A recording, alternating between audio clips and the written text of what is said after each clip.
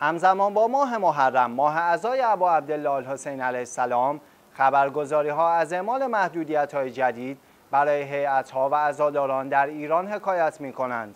پلیس استان کرمانشاه ایران در ادامه افزایش محدودیت ها در ماه محرم و سفر برخی از نمادهای عزاداری را ممنوع کرد.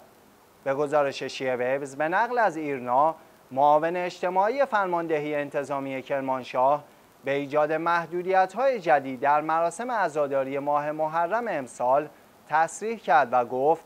نصب تمثال ائمه اطهار علیهم السلام در هیئتها و گلمانی کردن خودروی عزاداران ممنوع است. وی بدون ارائه دلیلی برای این محدودیت جدید گفته که با حیاتی که به این محدودیت پایبند نباشند برخورد می شود این در حالی است که سرهنگ محمد رضا آمویی اذعان کرده در ماه محرم که شیعیان عزادار سید و سالار شهیدان هستند